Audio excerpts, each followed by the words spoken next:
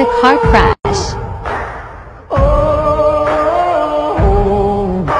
Turn off your light, lay down on your bed, relax, and close your eyes until the beat drops.